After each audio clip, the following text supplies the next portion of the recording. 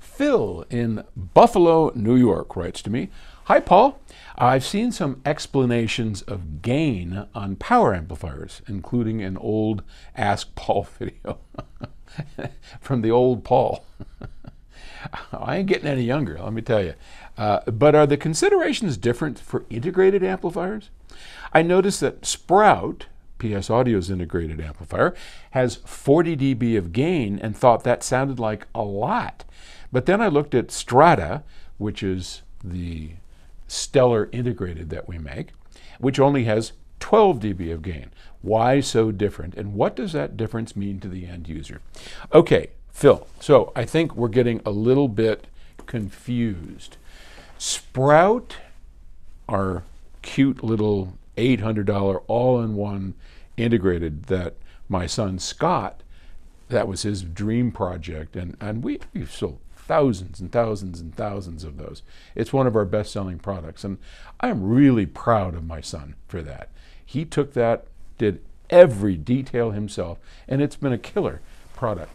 The 40 dB gain that you see in the specs on Sprout, that's for the phono stage. So phono stages, where your turntable and your needle and all that, they need a lot of gain. And 40 dB at 1 kilohertz is about average for a moving magnet cartridge. Now there are moving coil cartridges, there you need about 60 dB of gain.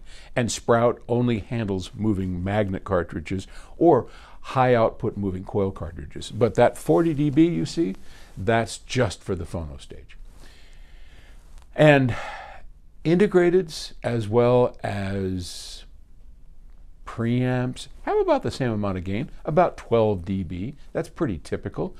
One of the first ones we made at PS Audio, the Elite, had, I don't even think we had any gain. I think that was just a straight pass through. And we just made the power amplifier have enough gain. But at the end of the day, you're not going to use a lot of that gain.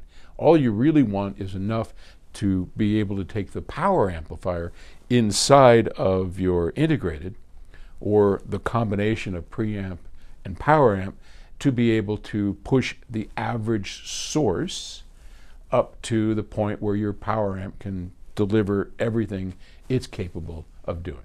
So anyway, hope, hope that helps. All right. Thanks for the question. Talk to you later. Bye.